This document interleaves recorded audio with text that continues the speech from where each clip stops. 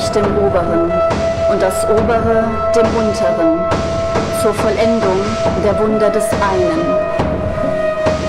Und wie alle Dinge aus dem einen sind, aus der Meditation des einen, so werden auch alle Dinge aus diesem einen durch Abwandlung geboren.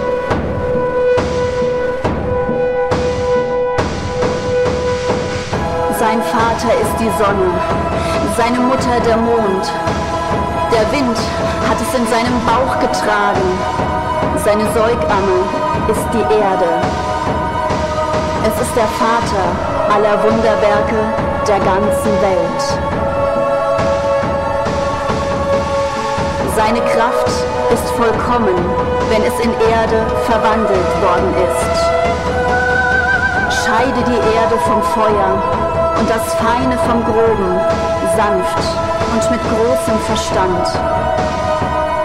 Es steigt von der Erde zum Himmel empor und kehrt von dort zur Erde zurück, auf dass es die Macht der Oberen und Unteren empfangen. So wirst du die Herrlichkeit der ganzen Welt besitzen und alle Finsternis wird von dir weichen. Dies ist die Kraft aller Kräfte, denn sie besiegt alles Feine und durchdringt das Feste.